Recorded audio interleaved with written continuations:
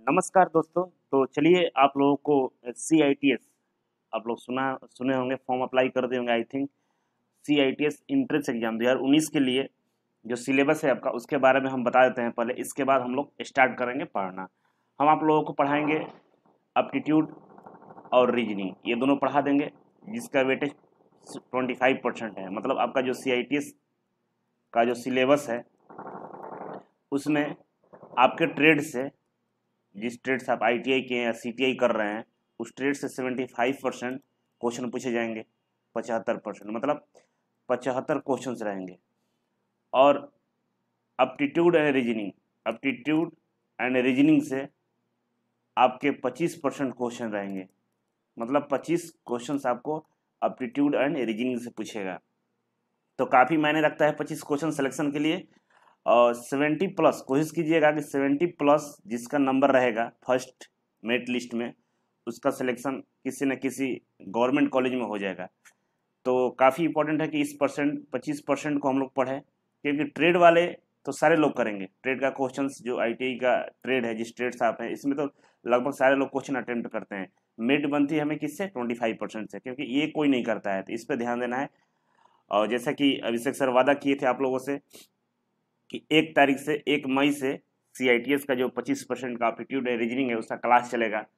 आ, नहीं स्टार्ट हो पाया उसके लिए सॉरी आज स्टार्ट होगा। तो आज दो मई है और मैं कोशिश करूँगा कि बीस तक आप लोगों का सिलेबस ख़त्म कर दे दस दिन रिवीजन कर लीजिएगा। पढ़ने से पहले आप लोगों को बता देते हैं पढ़ाने से पहले कि सीरियस होकर ज़्यादा नहीं पढ़ना है। बिल्कुल बेसिक क्वेश्चंस आते हैं। ये जो टॉपिक जो देख रहे हैं आप बताएँगे इसके बारे में। बेसिक क्वेश्चन है वो बेसिक जैसा ही पढ़ना है, आराम से पढ़ना है, पूरा फोकस आप लोग सेवेंटी फाइव परसेंट पर दीजिएगा, आप खुद से। और जो मैं पढ़ा रहा हूँ, उसको रिवीजन करते रहिएगा। निश्चित तौर पे आप अच्छा क्वेश्चन करके आएँगे, स्कोर करके आएँगे। तो चलिए, समय को हम ज़्यादा नहीं गवाएँगे बात, बीच में बातचीत हम लोग करते रहेंगे।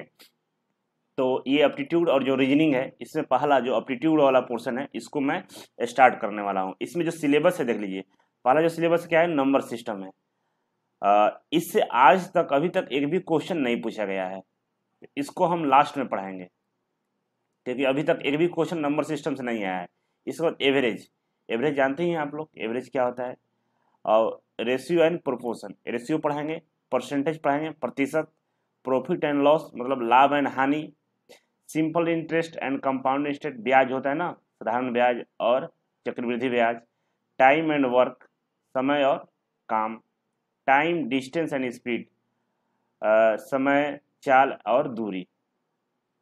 बहुत बेसिक है टेंशन नहीं लेना, आराम से हर टॉपिक वाइज में पढ़ाऊँगा। आज मैं स्टार्ट करूँगा आप लोगों को एवरेज। एवरेज से स्टार्ट करेंगे और इसके बाद नेक्स्ट जितने भी टॉपिक है वो पढ़ाएँगे। लास्ट में हम नंबर सिस्टम बता देंगे। इससे क्वेश्चन अभी तक नहीं पूछा लेकिन पूछ सकता है। तो इस तरह से सिलेबस है आपका। तो चलिए शुरू करते हैं। आप तो चलिए एवरेज। एवरेज क्या होता है? एवरेज मतलब औसत होता है। किस चीज़ का औसत है? तो औसत को समझने के लिए मैं छोटा सा एग्ज़ाम्पल देना चाहूँगा कि मान लीजिए कोई संख्या है आपके पास। एक किसी के पास सॉरी एक मिनट।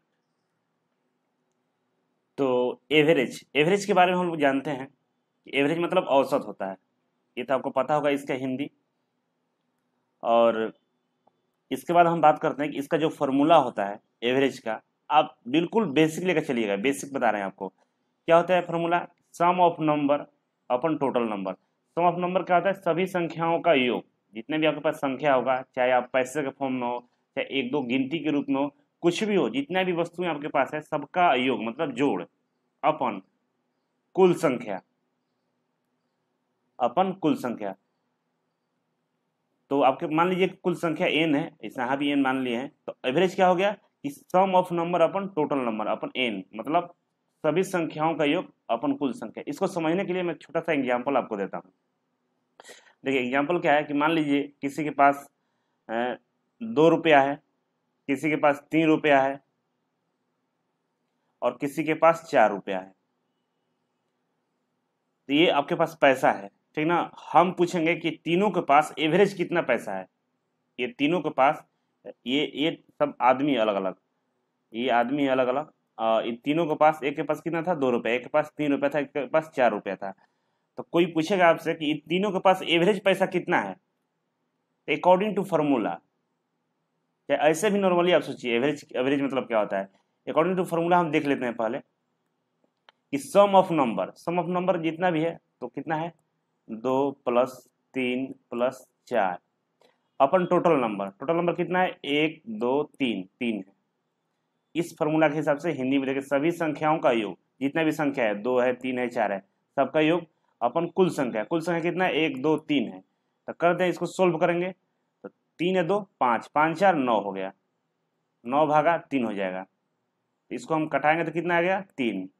तो एवरेज बात करें एवरेज पैसे की बात करें तो तीनों के पास रेस तीन रुपया, एवरेज पैसा है। और एवरेज का मतलब ये भी होता है कि अगर एवरेज हम बता दिए इस, कि तीनों के पास तीन रुपया एवरेज है, इसका मतलब ये नहीं है कि तीनों के पास तीन तीन रुपया ही है। आप देख सकते हैं, इसके पास दो रुपया है, इसके पास तीन है, इसके पास चार रुपया है। एवरेज बात करेंगे तीनों को मिला के तो तीन तीन रुपया हिस्सा आता है। ये होता है एवरेज। अब क्या करते हैं हम इसको, एवरेज को इस फॉर्मूले को ध्यान से देखिएगा तो इसमें तीन पार्ट है। पार्ट एक ये हो गया। आ, ये एक मिनट। पार्ट ये एक एक ये हो गया दो ये हो गया और तीन ये हो गया। इसी तीनों पार्ट पर ध्यान देना है आपको। क्वेश्चन जो आते हैं तो दो पार्ट दिया रहता है। ये दिया रहेगा और ये दिया ये पूछ देगा। चाहे ये और ये ये दोनों दिया रहेगा ये पूछ देगा ऐसे पूछता है। तो कुछ नहीं करना इधर से उधर करना होता है। जैसे पूछ दिया सम ऑफ़ नंबर कितना होगा। तो ये ये वाला पूछा है। तो क्या करेंगे हम? ये इस तरफ़ चला जाएगा तो दोनों एक साथ मल्टीप्लाई हो जाएगा। जैसे average into total number n इसके बारे में पूछा है। सम ऑफ़ नंबर क्या होगा? मतलब कुल संख्याओं का योग बताइए। क्या करेंगे? एवरेज में टोटल टोटल नंबर को गुना कर देंगे, जैसे यहाँ पे किए हैं। सेम वही बात है। सभी संख्याओं का योग पूछ रहा है। तो क्या करेंगे? औसत। औसत इंटू कुल संख्या। कर देंगे तो क्या हो जाएगा? मेरा एवरेज कुल संख्याओं का योग आ जाएगा। चलिए सीधे हम क्वेश्चन पर चलते हैं। क्वेश्चन करेंगे तो ज़्यादा समझ में आएगा। इससे पहले बताया कि बस एवरेज यही है। यही एक फॉर्मूला है जिसपे सारा एवरेज बेस्ट है। इसी कंसेप्ट पे सारा क्वेश्चन आएगा। देखिए, एकदम आराम से बनेगा। आप आराम से देखते जाइए। अब क्वेश्चन सोल्व करते हैं। लगभग दस दस क्वेश्चन हम बताएँगे सारे टॉपिक से। आप इसी में पकड़ लीजिएगा। तो जैसा कि देखिए, पहला जो क्वेश्चन है कि average of first ten natural number क्या होगा? मतलब प्रथम दस प्राकृतिक संख्याओं का औसत ज्ञात करें। तो प्रथम दस प्राकृतिक संख्याओं का औसत ज्ञात करें। पूछा है क्वेश्चन ये क्वेश्चन आ भी सकता है। तो प्राकृतिक संख्या क्या होता है? जो एक से शुरू होता है। तो एक से जो संख्या शुरू होता है, उसको क्या कहते हैं? प्राकृतिक संख्या तो प्राकृतिक संख्या प्रथम दस बोल रहा है। मतलब एक से लेकर दस तक। तो इसको सिंपल हम निकाल लेंगे। औसत। औसत निकालना है ना? तो लिख देंगे औसत। औसत। इक्वल टू क्या होता है? कुल संख्याओं का योग।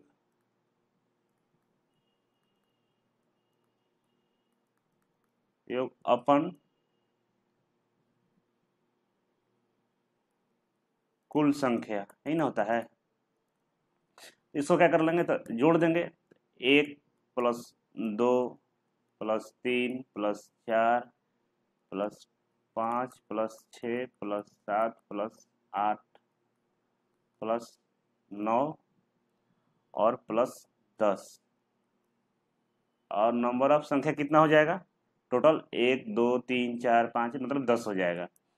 हाँ तो इसको अगर सोल्व करेंगे तो हमारे पास आएगा टोटल ऊपर को, ऊपर वाले को जोड़ेंगे तो कितना होगा? पचपन होगा। और नीचे कितना है? दस है। और दोनों डिवाइड होगा तो कितना होगा? फाइव पॉइंट फाइव तो क्या होगा आंसर? प्रथम दस नेचुरल नंबर प्रथम दस प्राकृतिक संख्याओं का एवरेज कितना आएगा? फाइव पॉइंट फाइव ये आपका आंसर हो गया। इस तरह से आंसर निकालना होगा आपको। एवरेज पूछ रहा था, हम निकाल दिए। इसी तरह बहुत सारा जो नंबर है, जैसे होल नंबर हो गया, इत्यादि के बारे में पूछता है, लेकिन ये सिंपल सा आपको बता दिए, इस टाइप का आता है तो आप नंबर याद रखिएगा। नंबर मतलब जो जो नंबर इससे नेचुरल नंबर किससे शुरू होता है? एक से शुरू होता है। और होल नंबर कितने शुरू होता है? ज़ीरो से शुरू होता है। इस चीज़ को ध्यान रखिएगा। नेक्स्ट चलते हैं हम नेक्स्ट क्वेश्चन पे। तो चलिए, जो नेक्स्ट क्वेश्चन है, इसके बारे में हम बात करते हैं कि एक टैक्सी ड्राइवर यहाँ पे एक टैक्सी ड्राइवर प्रतिदिन के हिसाब से मतलब डेली साठ रुपया, पैंसठ रुपया, सत्तर रुपया, बावन रुपया, तिरसठ रुपया तिहत्तर रुपया और अड़सठ रुपया कमाता है। मतलब एक सप्ताह में प्रत्येक दिन इस तरह से वो कमाता है। पहला दिन का कितना कमाया? साठ, दूसरा दिन पैंसठ, तीसरा दिन सत्तर, चौथा दिन बावन रुपया पचवा दिन तिरसठ, छठा दिन तिहत्तर और अठवा दिन सतवा दिन सिक्सटी एट। मतलब अठहत्तर रुपये कमाता है। तो कह रहा है क्वेश्चन में कि एक सप्ताह में, एक सप्ताह में प्रतिदिन के हिसाब से औसत कितना कमाता है? एवरेज इसका प्रतिदिन का आय बताइए। प्रतिदिन का एवरेज आय कितना कमाता है? इसके बारे में हम लोगों को बताना है, निकालना है। तो आप लोगों को पता होगा कि एक सप्ताह में,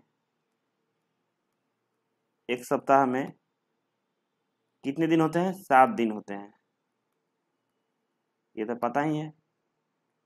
अकॉर्डिंग टू जो फॉर्मूला है, एवरेज का तो औसत इक्वल टू का था? औसत इक्वल टू क्या था? कि कुल कुल संख्याओं का योग, यही था ना? तो कुल संख्याओं का योग क्या है? यही तो योग है। साठ है, पैंसठ है, सत्तर है, बावन है, तिरसठ है। इसको कुल संख्या बोलिए या कुल आय बोलिए। तो कुल संख्याओं का योग लिख सकते हैं। कुल संख्याओं का योग।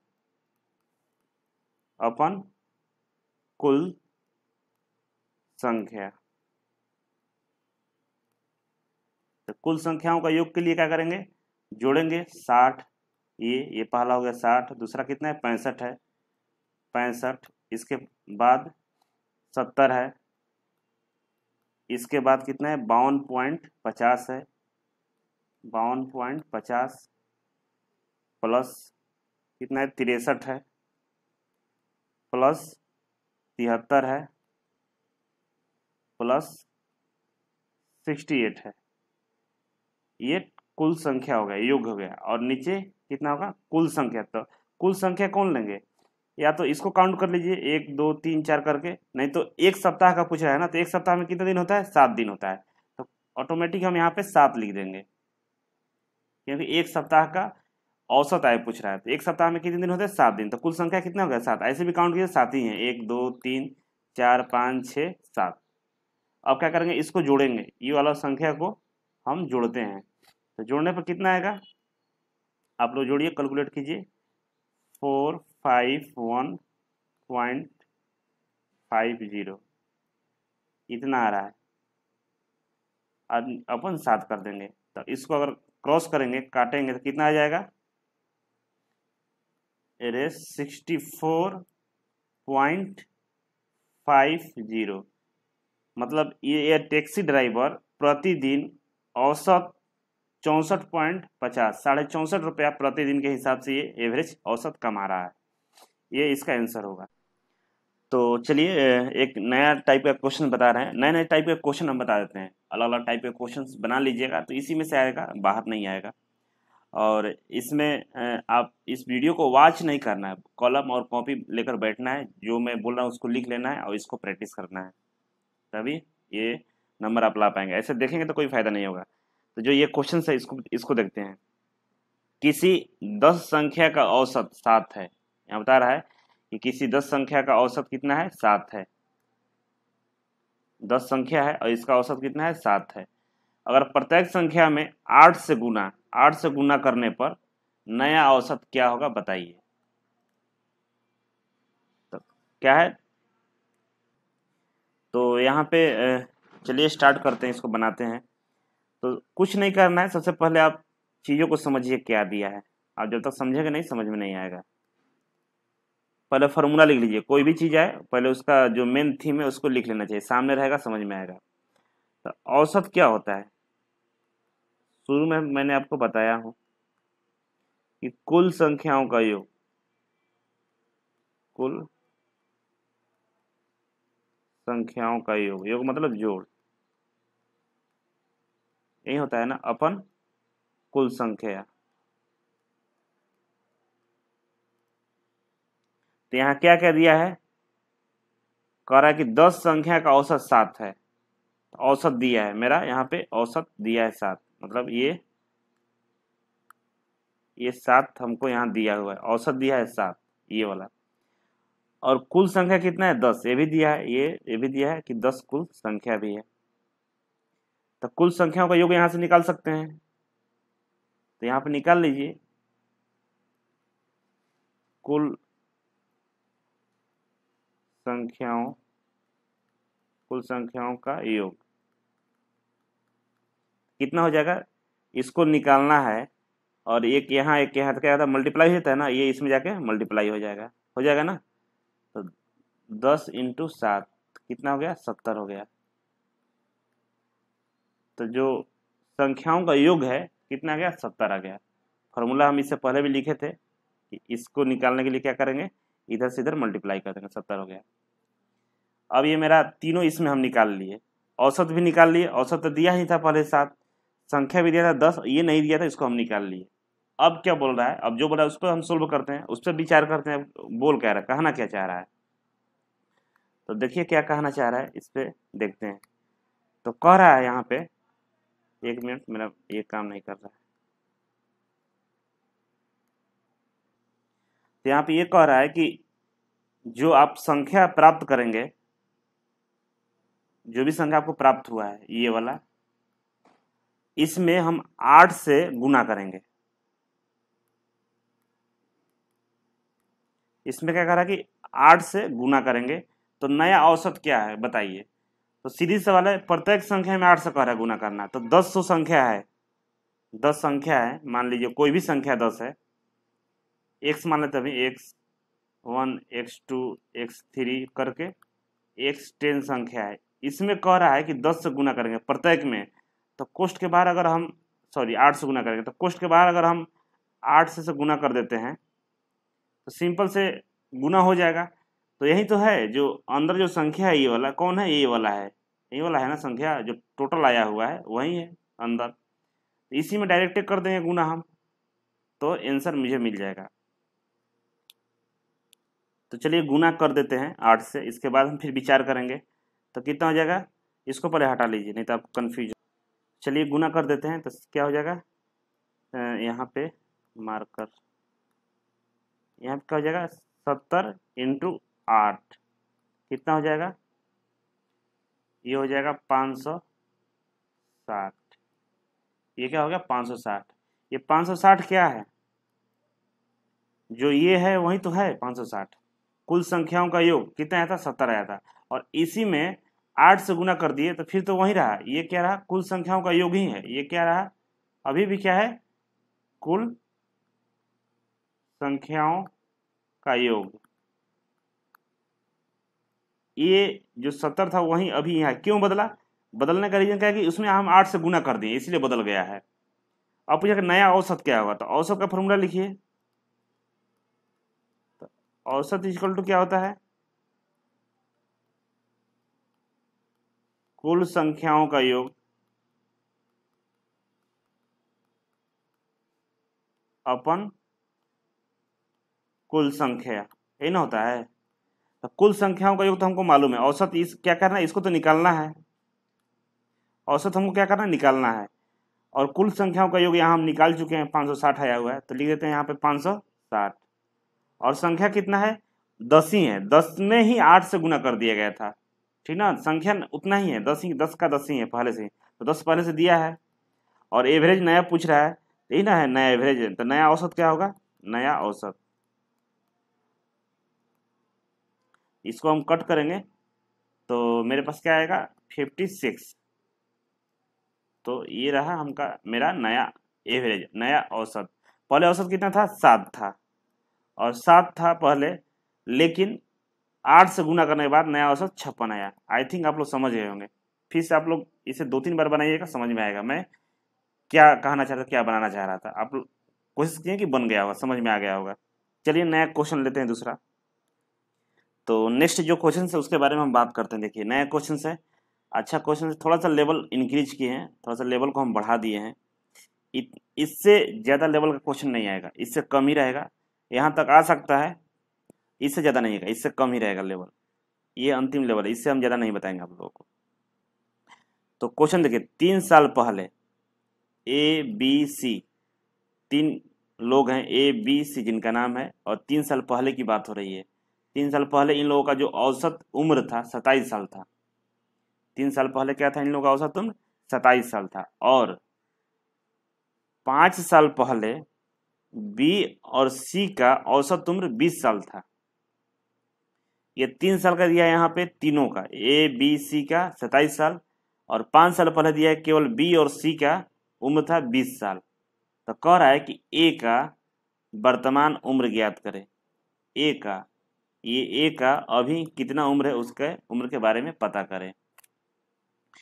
तो इसके बारे में बनाने से हम इसको बना देते हैं। आप समझ लीजिए बन कैसे रहा है। कंसेप्ट पर ध्यान देना कि बन कैसे रहा है। इसको एक दो बार प्रैक्टिस कीजिएगा, आपको समझ में आएगा। चीज़ों को रटना नहीं है। नंबर ऑफ़ टाइम्स प्रैक्टिस कीजिए, आपको समझ में आएगा। तो सबसे पहले हम फार्मूला लिख देते हैं यहाँ पे। कन्फ्यूज़न की स्थिति ना रहे। फार्मूला क्या था? औसत। औसत क्या होता है? आपको पता है। कि औसत इक्वल टू होता है। संख्याओं का कुल योग।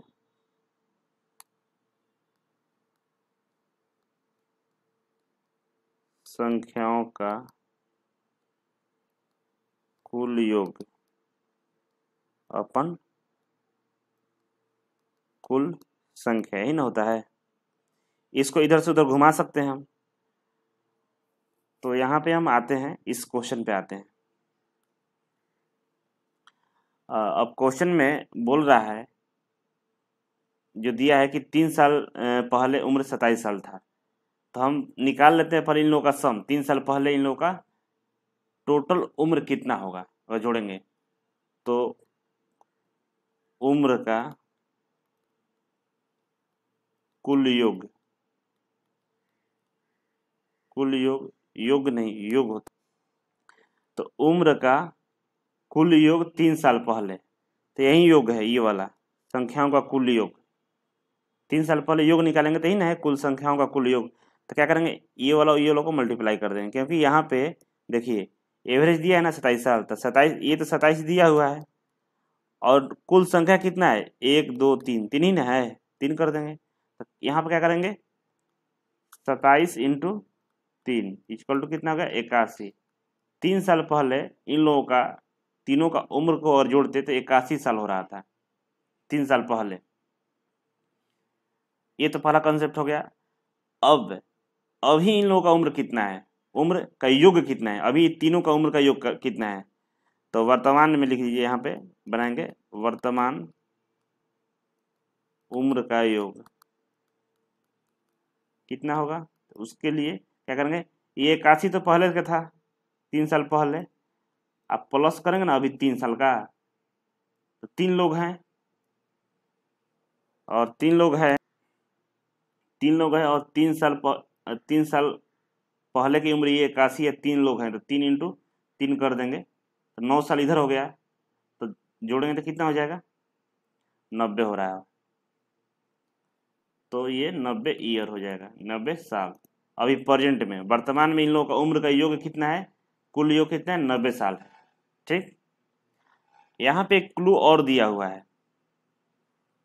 अब जो नेक्स्ट क्वेश्चन ये पहला पार्ट हो गया। क्वेश्चन का ये पहला पार्ट था। आप लोगों के सामने ये ये वाला, ये हो गया। अब नेक्स्ट पार्ट में चलते हैं। पाँच साल पहले की बात कर रहा है। बी और सी की बात कर रहा है। तो इन लोगों का भी सेम उसी तरह निकालेंगे।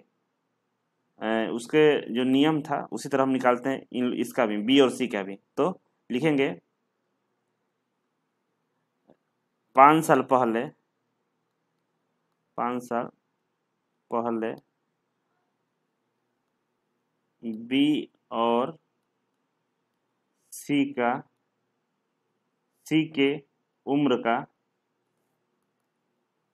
कुल योग कुल योग क्या होगा? तो कुल योग ही तो है, संख्याओं का कुल योग। तो कितना दिया है? इस इस कंडीशन में कितना दिया है? देखिए बी और सी का औसत उम्र बीस साल था। उम्र कितना दिया इस बार? बीस साल दिया औसत। एवरेज बीस साल दिया है। और संख्या इस बार कितना है? दो ही है। पिछले बार तीन था, इस बार कितना है? दो है। ये दोनों को मल्टीप्लाई कर देंगे तो आ जाएगा ना? ये इसको निकालना है तो इसको इधर भेज देंगे तो आ जाएगा। क्या करेंगे? बीस इंटू टू मतलब बीस गुना दो इजकल टू चालीस। ये चालीस जो है, क्या है? उम्र है। और कब का उम्र है? ये पाँच साल पहले का उम्र है। पाँच साल पहले ये दोनों का उम्र का जो युग था, जोड़ था, वो चालीस साल का था। ठीक, अभी अभी कई लोगों का उम्र निकाल लेते हैं। इस तरह जैसे वर्तमान में इसका निकाल लेते हैं, अभी भी निकाल लेते हैं। तो वर्तमान उम्र का योग कितना हो जाएगा? यहाँ पर निकालते हैं।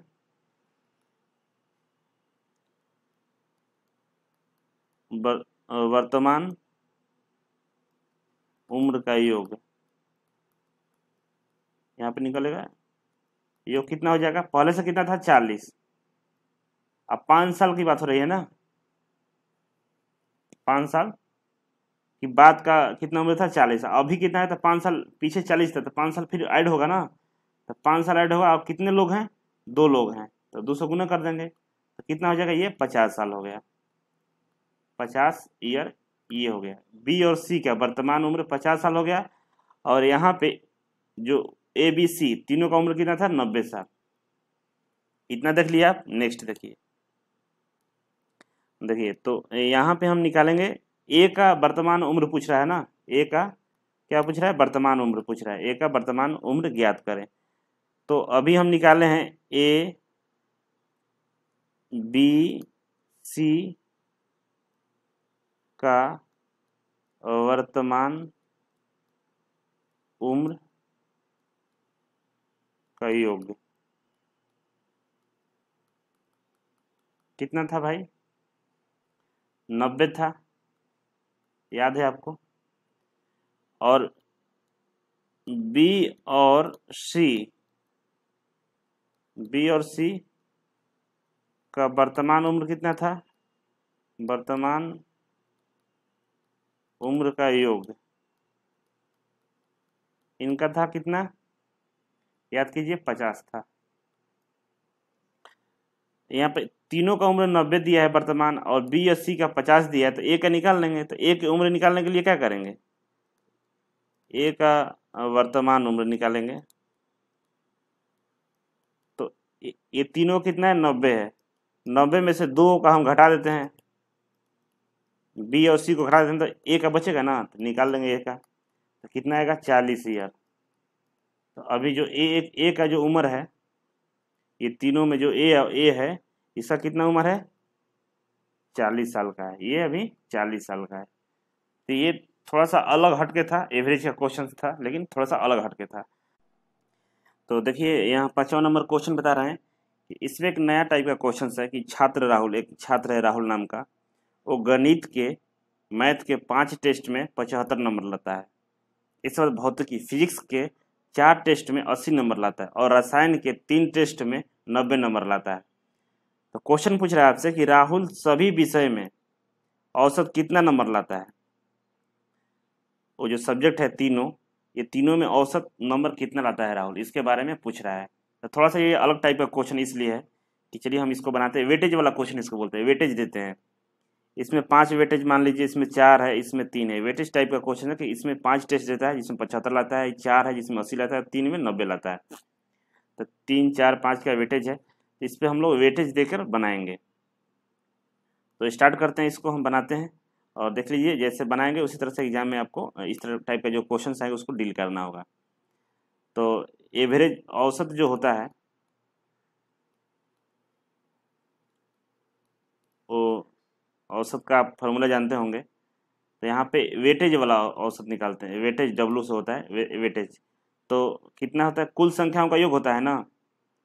तो कुल संख्या का कितना हो गया? पचहत्तर हो गया। प्लस अस्सी हो गया। अब प्लस कितना हो गया? नब्बे हो गया। अपन कितना संख्या टोटल इसमें पाँच है। इसमें चार, इसमें तीन है। तो पाँच, क्योंकि पाँच टेस्ट दिया ना तो पाँच हो गया संख्या।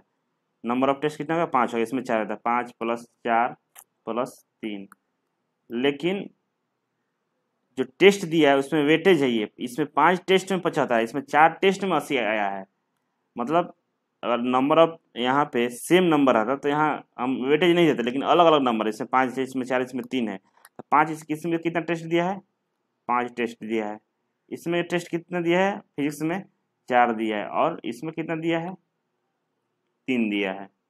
ये वेटेज हो गया। टोटल टेस्ट कितना हो गया? पाँच, चार और तीन। देखिए, टोटल कितना हो गया? पाँच, चार, तीन। कुल संख्या होता है ना यहाँ पे? तो पाँच, चार, नौ और तीन, बारह। तो यहाँ पे निकाल लेंगे गुना करेंगे और जोड़ करेंगे तो कितना आ जाएगा? नौ सौ पैंसठ आ जाएगा। नाइन सिक्स फाइव अपन ये ट्वेल्व। और इसका आंसर कितना आएगा? अस्सी पॉइंट चार अप्रॉक्स होगा। ये इसका आंसर आ गया। तो इस तरह से जो वेटेज वाला होगा, इस तरह से उसको सोल्व कीजिएगा। मैं समझता हूँ कि आप लोग अलग अलग टाइप के क्वेश्चन आपको बता दिए हैं। कंसेप्ट आपको पता चल गया है। इस तरह के क्वेश्चंस लगाइएगा बेसिक जो एवरेज क्वेश्चन आएँगे, आप इसको सोल्व कीजिएगा। एवरेज में इतना ही रहने देते हैं। नेक्स्ट जो चैप्टर आएगा, जो चैप्टर आपको मैं बताया था जो शायद ये था रेशियो एंड प्रोपोर्शन था। तो रेशियो बताएँगे नेक्स्ट वीडियो में। अभी भी लगता है आपको कि और क्वेश्चन बताना चाहिए मुझे तो आप कमेंट कीजिएगा। क्वेश्चन ओनली केवल क्वेश्चन आपको बता देंगे। पर इतना समझ लीजिए। मैं चाहता हूँ कि बीच तक सिलेबस ख़त्म कर दें। इतना कर लीजिएगा तो हो जाएगा। वीडियो कैसा लगा, कमेंट करके बताइएगा। ज़रूर बताइएगा, अपने दोस्तों को भी बताइएगा जो सीआईटीएस का फॉर्म भरें वो लोग भी वीडियो को वॉच करें। और लाइक ज़रूर कर दीजिएगा, वीडियो अच्छा लगे तो। थैंक यू सो मच फिर मिलते हैं आपसे नए जो जो चैप्टर है रेशियो एंड प्रमोशन में। Thank you so much